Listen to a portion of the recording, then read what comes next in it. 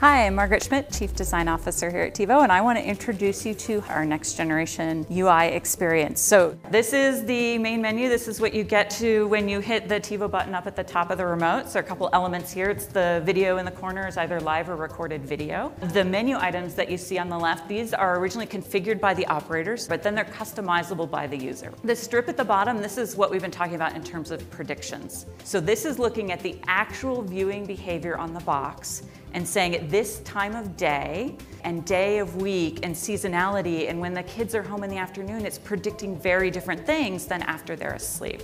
My Shows is the key TiVo screen, right? That's where when you set up your OnePass, all the shows that you watch end up here. Only certain things you may be actively viewing at this time, so we want to give you easy access to that. But then we have all the shows in either date or name order. You have that choice, and I can see into those episodes, and it's remembering which next episode is there for me to watch. And as you can see, this is seamlessly integrating between recordings and the on-demand and the streaming content. And so as a user, I don't have to think, where do I go to find the next episode?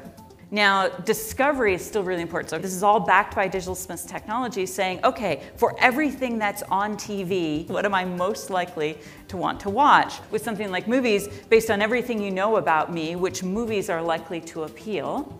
But maybe I don't want a recommendation, I want to hunt a little more, I can go into more movies.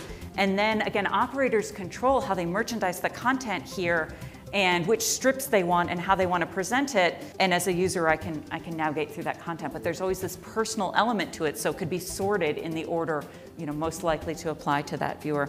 Back on home, we have apps, a lot of integrated apps, so we have a way for them to find their apps and also to favorite the ones that they want to get to quickly. Uh, one of the things I really like is what we call our trade up experience. And so we created functionality around all four arrow keys. So if I hit right, I can see what's on my other tuners. This is a four tuner box. So these are already If I tune to them, they would be in progress. If I hit left, I can see what's on my favorite channels. So again, I can quickly get to something on one of my favorite channels. If I hit down, I see that same prediction strip that we saw on home.